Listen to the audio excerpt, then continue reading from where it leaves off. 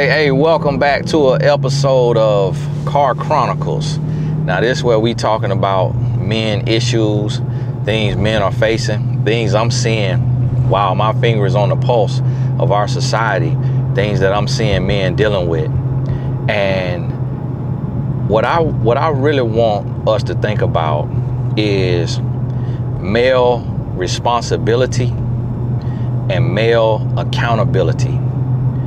And what I mean by that is the other day I saw a post, and I had seen it a while ago, but then I seen it again. But I saw a post of a lady, and she said, Don't let that relationship, y'all give him a little rev break. Let down he went a couple times. She said, Don't let that phone destroy your home.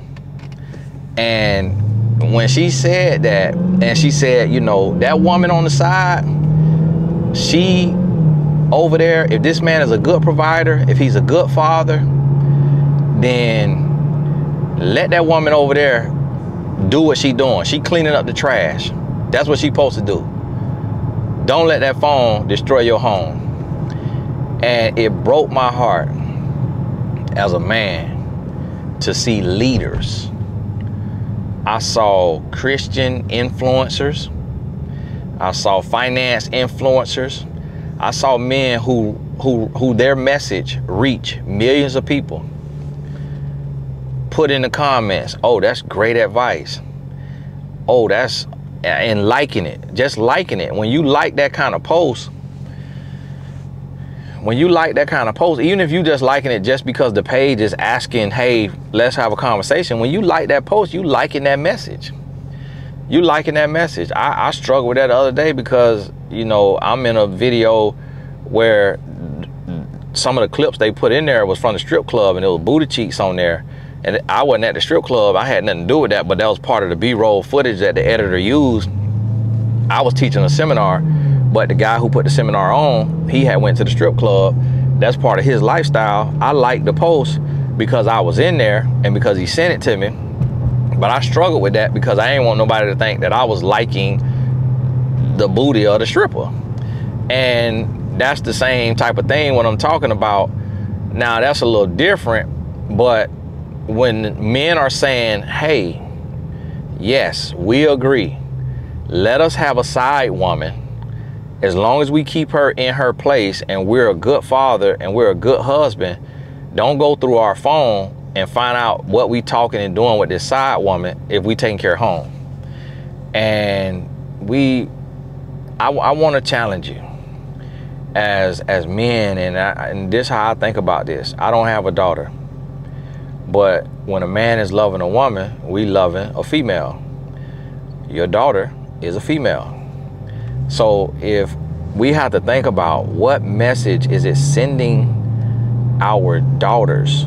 If you have a daughter, if you are cheating on her mother. So if you with her mother and you're cheating, do you think when your daughter is 15 and she understands this, is she gonna say, hey, dad, that's cool. I'd rather you be with mom and cheat on her or she gonna say, Dad, if you and mom not a fit, I'd rather y'all be apart and both be happy and co-parent and love and treat each other with respect versus you being with her and asking her to shut up and to put up with you having other women. What is that? What is your daughter gonna say? And then as a man, you have to ask yourself, okay, do I want my daughter to marry a man who pays the bills and takes care of the kids, but he's having sex with other women and then coming and having sex with my daughter. Because when you think about it, one of them women that the man sleeps with is gonna be crazy. Just based on the statistics, one of them women gonna be crazy. And so if that woman crazy, guess what? she gonna try to do something to your daughter who married to this man with multiple women just because he is a millionaire she gonna try to do something to your daughter or she might try to mess the man life up to mess his money up and that's gonna affect your daughter too so i think a lot of times as men we just thinking about ourselves i think i got two boys and i think about this like my son would be my 15 year old would be fire hot if he found out I was cheating on his mama. If he even if she was cool with it, he'll be mad with her. Like, mom, what in the world are you doing? How you letting him sleep with other women and then come sleep with you? My son get mad if he see me look at a booty. Sometimes a nice set of hounds walk by and it I, I might catch my eye on accident and he'll say, Dad, what you looking at there, buddy? That's how he, he joke around. Dad, um, eyes look like they, I'm like, no, son, I was not looking over there. But he checked me on that.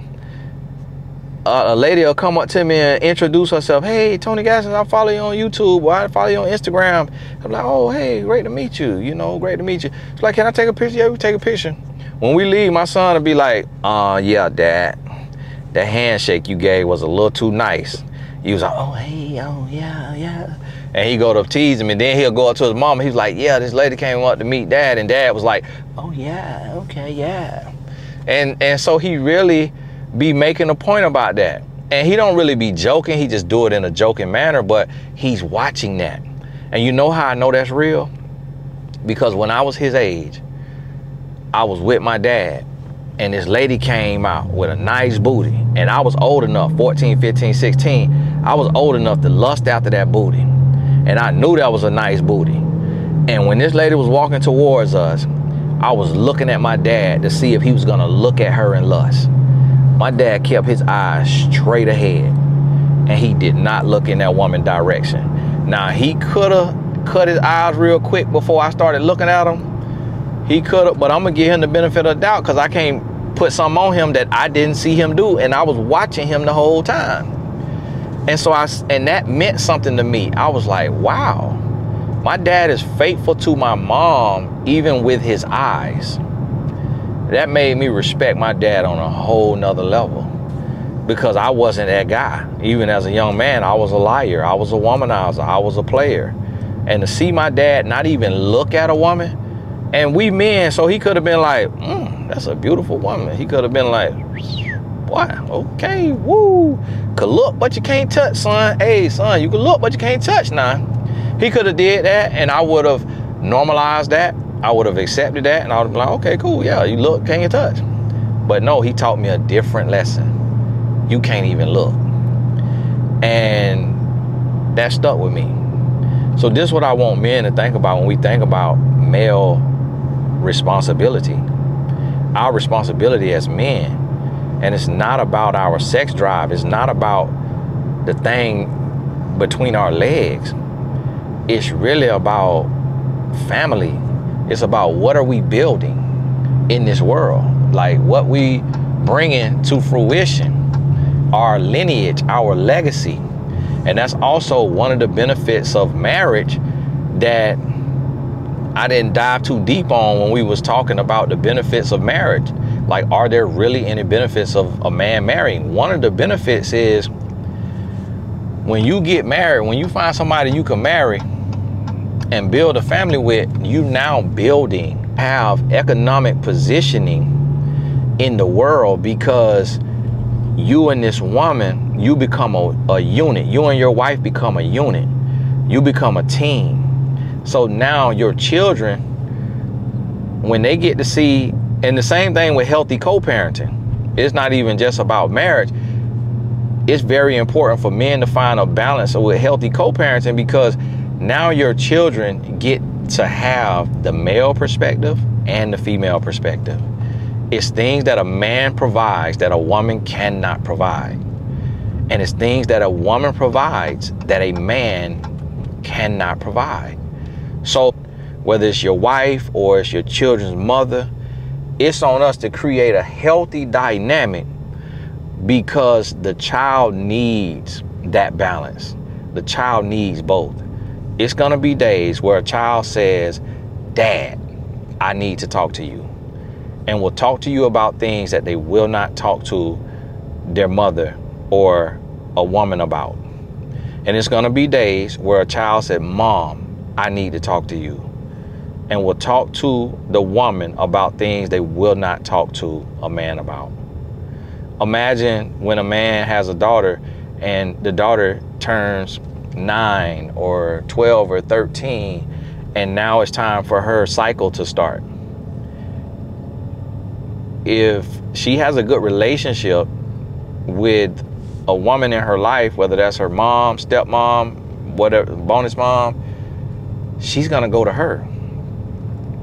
She's gonna go to her before she goes to the man because log- logically she's gonna say, well, my dad's body doesn't even do this. So I can't fully expect him to understand this. And that's what we have to think about. But if we're treating the woman like trash and the woman is broken, she's hurting, she's crying all the time, she's not going to be able to be healthy for our children.